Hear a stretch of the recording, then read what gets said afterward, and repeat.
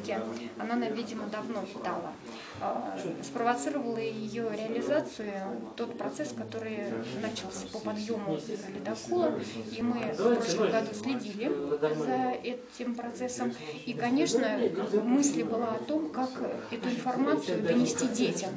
Придет время, его поднимут и сделают из него музей, мы не сомневаемся, но хочется здесь сейчас уже начать э, наше поколение знакомить с этой историей, потому что эта история, или как вот ее называют еще легенда на дне, она действительно существует.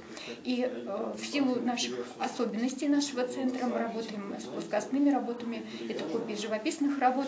Конечно, пришла в голову мысль создать идею, э, создать выставку, которая сейчас представлена в этом зале не было сомнений, к кому нужно обратиться. Художника Андрея Тихомирова мы знаем давно и знаем его увлечение историей города.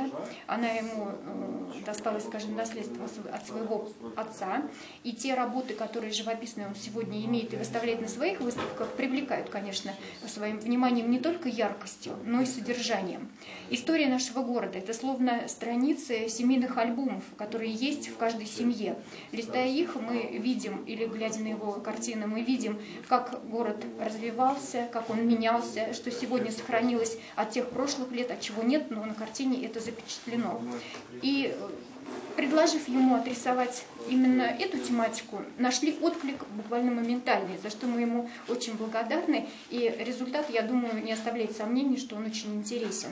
Мы постарались, чтобы он нам раскрыл в своих работах небольшой путь, историю, которая вписана уже сегодня э, в историю Саратова и Саратовской области. Это то, как появился на свет, если можно так сказать, легендарный ледокол. И то, как он э, сейчас проживает иную жизнь, находясь под